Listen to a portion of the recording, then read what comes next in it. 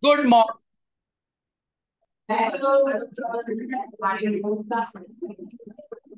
How is everybody? Are you?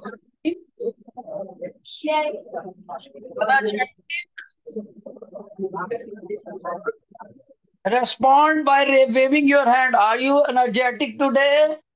पूरी ऊर्जा है आप में very nice very nice so dear students in the chapter of science we are going to in the subject of science we are going to cover the chapter the first lecture on gravitation. What is the name of unit? Gravitation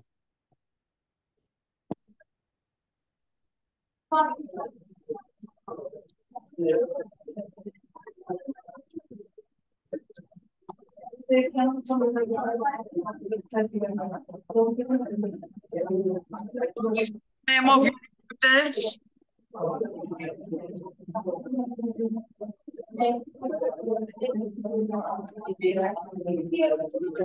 maintain the silence now i will not stop because this is very important to maintain the silence because the articles of science are very much interrelated with it if you will skip one thing here in the first article it is sure that fifth article is going to be the weak article for you so these articles are very interrelated please pay the attention from the very beginning शुरू से ही मेरे बच्चे पूरा ध्यान देंगे right what we are talking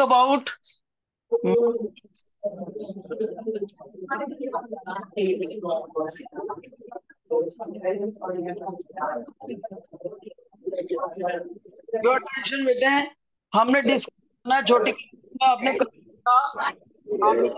बात होता है। Teachers are requested please in in one section there is lot of noise mass what is mass mass is the quantity of the matter contained in a body कोई body है इसके अंदर look at my hand इसके अंदर कम मास है क्योंकि इसको बनाने के लिए मटेरियल की क्वांटिटी कम लगी। मेरे पास एक और मास है उसको बनाने के लिए कम मटेरियल लगा। इसका मास कम है। तो मास को हम क्या स्टडी करेंगे? Mass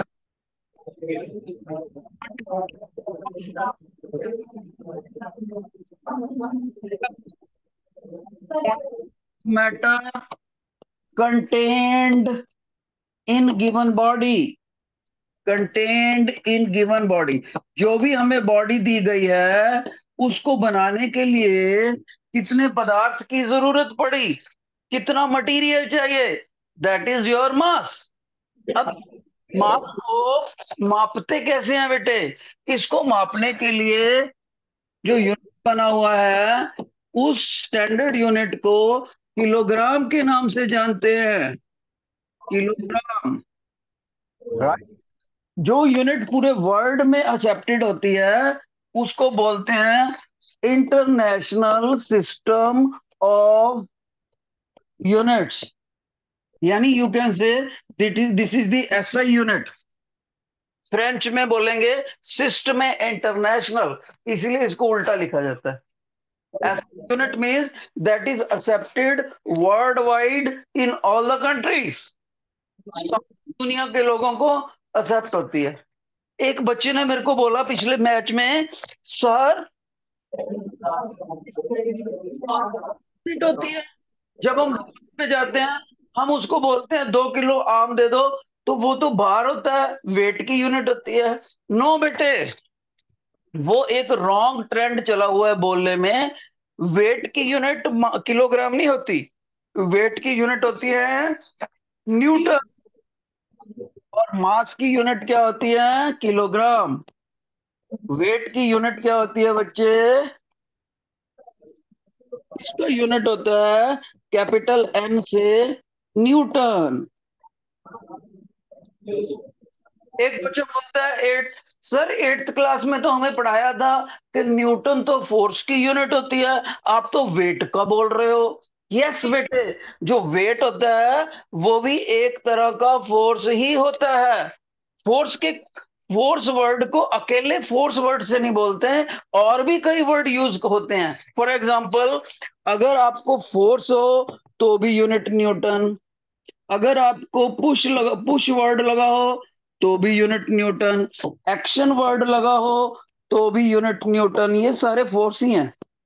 रिएक्शन वर्ड लगा हो तो भी यूनिट न्यूटन किसी न्यूमेरिकल में टेंशन वर्ड लगा हो टेंशन इज़ स्ट्रिंग तो भी यूनिट न्यूटन किसी में थ्रस्ट लगा हो तो भी यूनिट न्यूटन ये सारे फोर्स होते हैं बेटे ओके तो इसी तरह से वेट भी।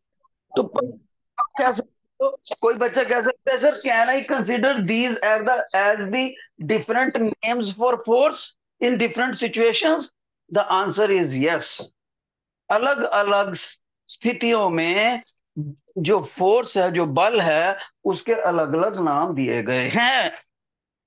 अब इन दोनों में क्या लिंक है? तो देखो बेटे, इन दोनों में जो लिंक है दोनों में जो लिंक है weight is equal to mass into acceleration due to gravity mass into acceleration due to gravity ये इसका फॉर्मूला है। अब एक बच्चे ने जूनियर क्लास में या पिछली क्लास में या फोर्स के चैप्टर में फार्मूला पढ़ा है। Force is equal to mass into acceleration उसी फार्मूले का ये दूसरा रूप है। देखो फोर्स का यूनिट न्यूटन वेट का यूनिट न्यूटन मास का यूनिट किलोग्राम इधर भी मास लिखा है। और यहाँ पर एक्सरलेशन जनरल में लिखा है, यहाँ पर लिखा है बस एक्सरलेशन ड्यू टू ग्रेविटी अब कोई बच्चे बोलते, सर, ये जो आपने वर्ड बोला ना एक्सरलेशन ये मेरे को समझ में नहीं आया।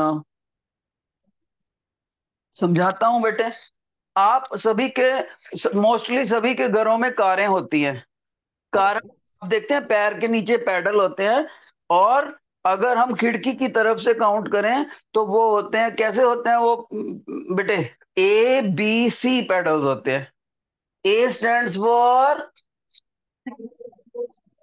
हाँ जी बेटे accelerator B stand for brake C stand for clutch आपके घरों में जो कारें होती हैं जिधर से ड्राइवर अपनी विंडो खोलता है उधर से हम अगर नंबर वन लगाए पैर के नीचे जो तीन पैडल होते हैं तो ए बी सी होता है। अब उसमें बीच वाले को देखो ए बी सी सॉरी पहले वाले को।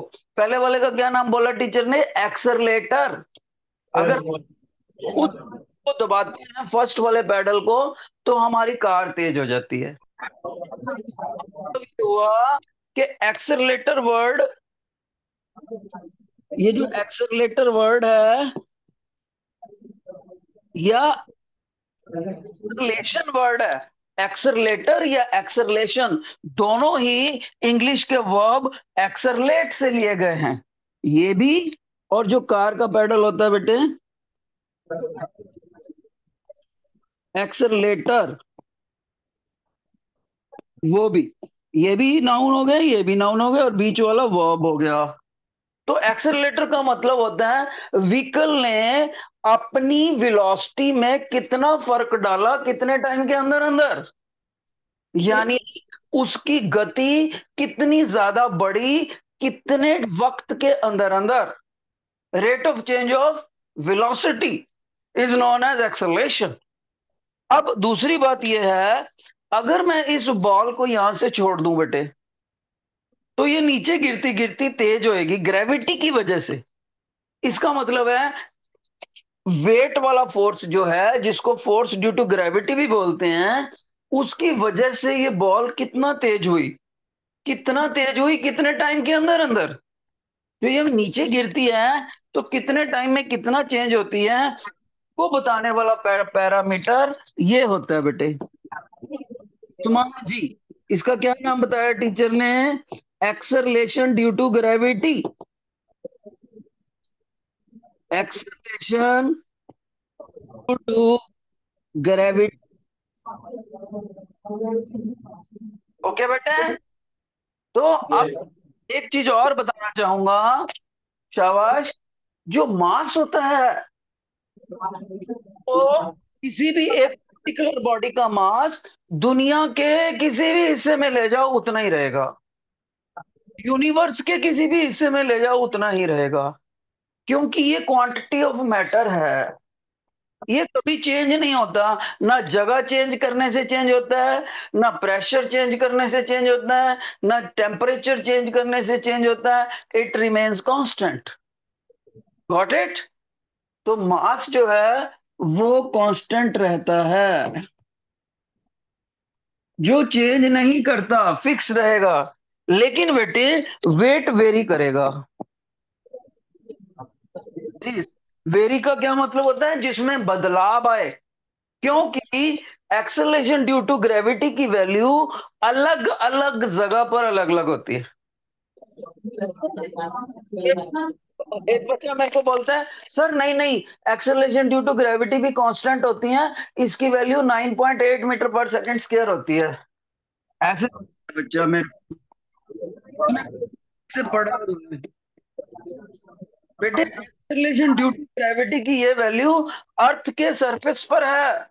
अब दूसरे प्लेनेट पे चले जाएँ सैटर्न चले जाएँ, या मून पे चले जाएँ सैटेलाइट पे या जुपिटर वाले दूसरे प्लेनेट पे चले जाएँ तो सभी जगह पर सुमाल जी की वैल्यू अलग अलग होती है। जी वेरी करेगी। लुक एट दिस फार्मूला जब जी की वैल्यू अलग पुट करेंगे तो वेट की वैल्यू भी अलग अलग हो जाएगी। बेटे, और एक चीज़ देखो, मान लो ये हमारा ग्लोब है, ठीक है? और इस ग्लोब के बिल्कुल टॉप सरफेस पर, बिल्कुल टॉप सरफेस पर जहाँ पर मैंने ये रख दिया, देखो, ये मैंने कोई ऑब्जेक्ट रख दिया। बिल्कुल टॉप पर। यहाँ पर 9.8 होती है ग्रेविटी अगर मैं इस ऑब्जेक्ट को ऊपर उठा दूँगा तो ग्रेविटी कम हो जाती है 9.8 से। अगर मैं इस ग्लोब में ऐसे खुदाई करके कुआँ खोद के उसके अंदर बॉडी रख दूँगा वहाँ पर भी वेट कम हो जाएगा, क्योंकि खुदाई करने से भी ग्रेविटी कम होती है। बॉडी होनी चाहिए। दूसरी, वो बॉडी जो है अर्थ के बिल्कुल सरफेस पे रखी हो, तब इसकी ग्रेविटी 9.8 मीटर पर सेकंड स्क्वायर होती है बेटे। एक्सेलरेशन ड्यू टू ग्रेविटी याद रखिए ये बात। अब यहाँ से एक तरह से हमने मास और वेट का डेफिनेशन स्टडी करा साथ में कंपैरिजन देखा कि कौन सी चीज़ बदल सकती है कौन सी चीज़ नहीं बदल सकती जगह चेंज करने से। के हम सेकंड सेक्शन में जाएँगे थोड़ी बहुत बेटे डेमो भी करके दिखाऊँगा अपने ऑपरेटर्स के साथ। Please keep your mind here अब हम बात करेंगे सेकंड कैटेगरी में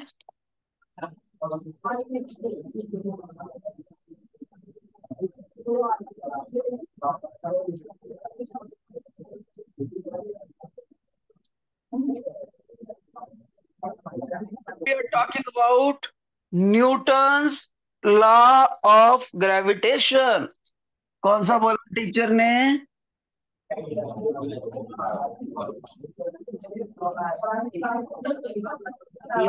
ऑफ़ ग्रेविटेशन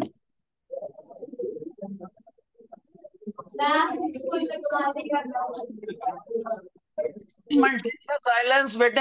ये जो स्टडी हो रही है, ये आपका ज़िंदगी बनाएगा कैरियर बनाएगा। अगर बेस कमज़ोर रह गया तो आने वाली क्लासेस में वीक हो आप इग्नोर कर रहे हो तो समझो अपने कैरियर को इग्नोर कर रहे हो। अब आपकी मर्ज़ी है। So we are going to discuss Newton law of gravitation बेटे, ये एक ऐसा लॉ है जो हमें फोर्स कैलकुलेट करके बताता है किसके अंदर अंदर? बिटवीन टू मासिस टू इसके लिए? हमें दो मास लेने पड़ते हैं। जैसे कि मैंने एक बड़े वाला मास ले लिया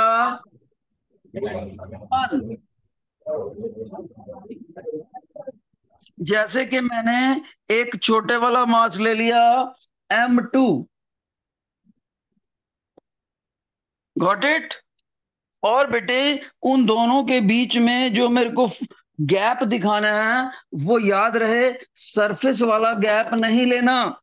मेरे को गैप लेना है उन दोनों के बीच में सेंटर बीच में गैप लेना है। इसका सेंटर ये, इसका सेंटर ये I have to take this gap small R is the gap between the centres of the two bodies तो इस साइंटिस्ट ने ये बताया कि इन दोनों फोर्सेस दोनों मासेस में जो फोर्स होता है, वो केवल और केवल अट्रैक्टिव नेचर का होता है, कभी भी रिपल्सिव नहीं होता। दूसरे फोर्सेस रिपल्सिव भी हो सकते हैं। बच्चा कह रहे है, sir what do you mean दूसरे फोर्सेस जैसे एक दूसरे मैग्नेट को पुश कर सकता है। Look here this is the paper board and I have the bar magnet I have place the bar magnet here and red colour is representing the north I have horseshoe magnet जैसे magnet को इसके पास लेके जाता हूँ।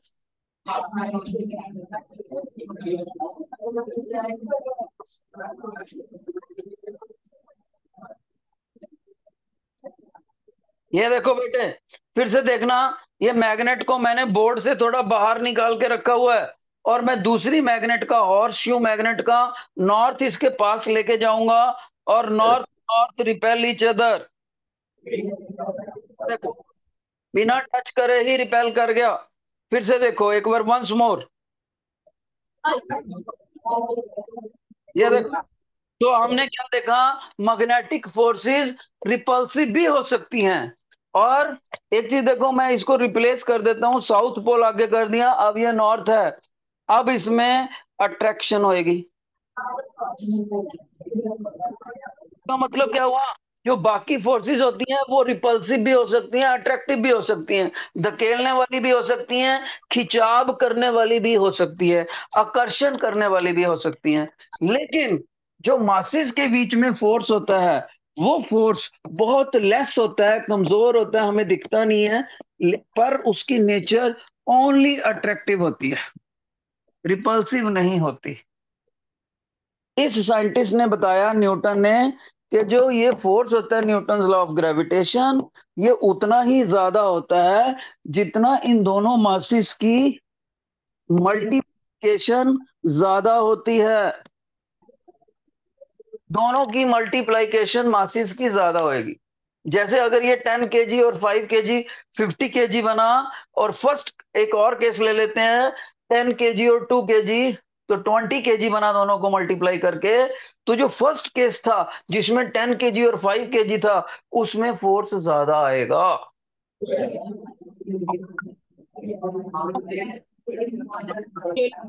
तरफ़ ले इसमें ग्राफ आता है।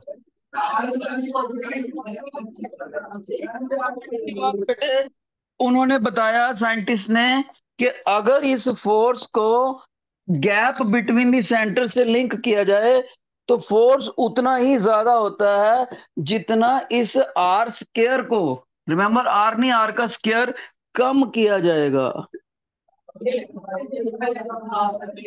इसमें हम बोलते हैं, force is directly proportional directly proportional. Directly proportional कहाँ बोलते हैं बच्चों? जहाँ पर एक चीज़ के बढ़ने से दूसरी चीज़ भी बढ़े, दोनों का एरो अपवर्ड है। एक चीज़ के घटने से दूसरी चीज़ बढ़े तो वो इनवर्सली प्रोपोर्शनल होता है। यहाँ पर हम लिखेंगे इनवर्सली प्रोपोर्शनल क्यों लिखेंगे? क्योंकि टीचर ने देखा कि आर स्केयर के बढ़ने आर स्केयर के घटने से बढ़ता है। दोनों पॉइंटों को, दोनों पॉइंटों को मिक्स करें। काके मैंने बेटे मैं देख लिया कैमरा से मैंने क्लिक कर लेना है और मैं फ़ोटो पहुंचाऊँगा प्रिंसिपल तक। ये जो बच्चे कर रहे हैं। लेट मी रिमेम्बर इट चाहे मेरे को पर्सनली आना पड़े स्कूल में। ये शो सोच समझ के शरारत करना आप। के अंदर। I am talking to this sing student जो फ़र्स्ट पे बैठे हैं चेयर पे। तो चाहे पर्सनली आना पड़े बेटे स्कूल में। ये याद रखना तुम। तो होता है ये फॉर्मूला बना। G M one M two upon R square ये फार्मूला जो था, इस साइंटिस्ट ने दिया न्यूटन ने। मैं इसको आपको बोर्ड पे डेमो के रूप में दिखाता हूँ। लुक ये हमारे पास मैंने, देखो बेटे, इसके पैरलर ही बनाऊँगा। देखो, मैंने एक मास रख दिया। राइट फिर मैं दूसरा मास भी रख दिया। एग्रीड अब इन के बीच में मैंने गैप दिखाना है। और गैप बिटवीन दी सेंटर्स होना चाहिए बेटे। गैप सेंटर्स मैं जरा सेटिंग करके फिर ऊपर उठाता हूँ। बेटे में बेटे बेटे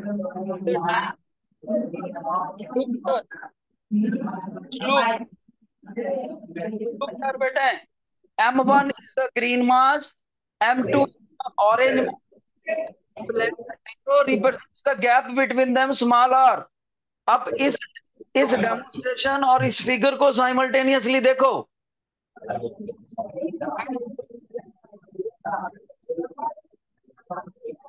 और यहाँ से हमें पता लगता है कि M1 लार्जर है M2 स्मॉलर है और गैप बिटवीन देयर सेंटर्स लेना है not gap between their surfaces ये प्रिकॉशन है बेटे ओके यहाँ पर यहाँ पर ये होता है। कैपिटल जी कैपिटल जी का मतलब होता है ग्रेविटेशनल कांस्टेंट ग्रेविटेशनल कांस्टेंट बेटे। और मैं बताना चाहूँगा, इस कैपिटल जी को स्मॉल जी से कभी कंफ्यूज नहीं करना। वो दोनों अलग अलग चीज़। हैं स्मॉल जी जो पिछले आर्टिकल में पढ़ा, वो एक्सेलरेशन ड्यू टू ग्रेविटी था और कैपिटल जी ग्रेविटेशनल कांस्टेंट है। और बात बताना चाहूँगा कि ये जो ग्रेविटेशनल कांस्टेंट है, इसकी वैल्यू पूरे यूनिवर्स में एक ही जैसी रहती है। इसलिए इसका पूरा नाम है यूनिवर्सल ग्रेविटेशनल कांस्टेंट और सभी बच्चे इसकी वैल्यू को याद भी रखेंगे। कभी नहीं भूलनी। अभी याद कर लो। Six point six seven ten raise to power minus eleven इसका यूनिट भी याद रखना बेटे। न्यूटन मीटर स्क्वायर पर किलोग्राम स्क्वायर। ये ऑब्जेक्टिव टाइप क्वेश्चंस में पूछ लेता है आपसे। समझदार बच्चे ने अभी याद कर लेगा, क्योंकि इसके बिना आपसे न्यूमेरिकल नहीं होंगे करेक्ट? अब हमारे पास हाँ जी। एंड वन मोर थिंग बेटे। अब हमारे पास कई सारी फोर्सेस भी होती हैं। फॉर एग्जांपल मैं अपने बच्चों को एक नया फोर्स दिखाना चाहता हूँ नेक्स्ट आर्टिकल में। लुक अगर ये कोई पर्टिकुलर पर्सन है और वो एक स्ट्रिंग से, एक स्ट्रिंग से स्टोन को थ्रेड को बाँध के स्टोन को बाँध के स्ट्रिंग से ऐसे स्वर्लिंग मोशन दे रहा है। स्वर्लिंग मोशन बेटे। लुक यार this is rotating like this swirling motion what the teacher is speaking swirl कोई बच्चा कह रहा है, सर गोल गोल चक्कर में घुमाना। सर्कुलर भी कह सकते हैं, बिल्कुल कह सकते हैं। ये देखो, मैं आपको एग्जांपल करके दिखाता हूँ।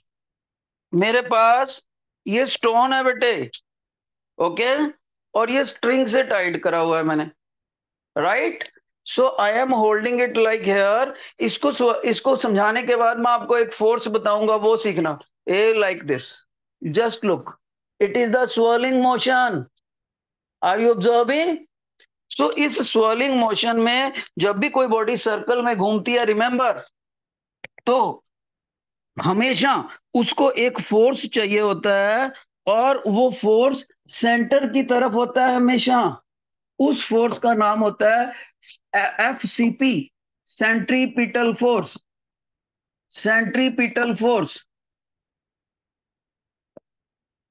अब देखो, जैसे मून अर्थ के इर्द गिर्द घूमता है वहाँ भी सेंट्रीपिटल फोर्स चाहिए। अर्थ प्लेनेट के इर्द गिर्द घूमती है।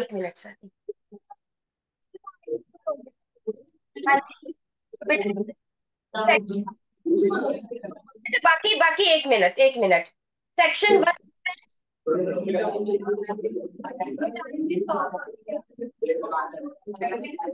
नाम का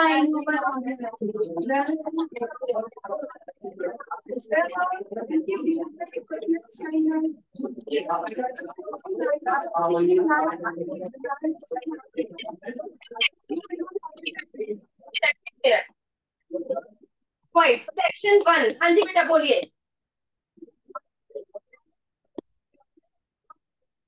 मैम एक मिनट एक मिनट सर एक